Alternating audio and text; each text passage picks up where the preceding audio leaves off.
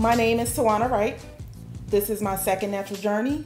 My first was seven years, um, just to try to see if I could stand the creamy crack again. I went back to um, perms for a period of two years. My hair was lifeless, it was damaged, it was breaking, and I felt it was time to go back to being natural.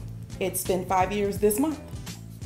The first time I went natural, I kind of it. I went, I did braids the entire time, extensions.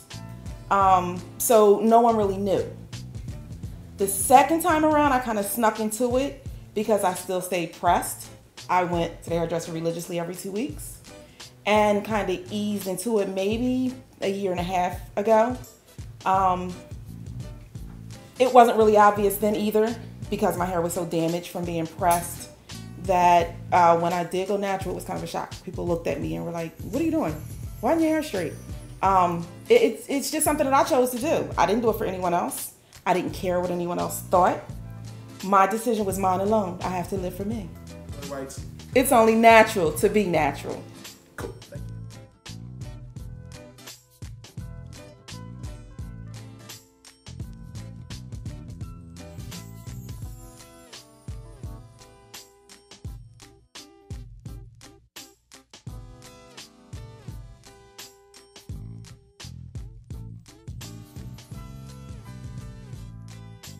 As I said, I didn't do it for anyone else. It was something that I chose to do for me. You didn't do it for the vine. I didn't do it for the vine. You didn't do it for the vine. Mm-mm. Why you didn't do it? I ain't gonna do it. Do it for the vine. I ain't gonna do it. Why ain't gonna do it?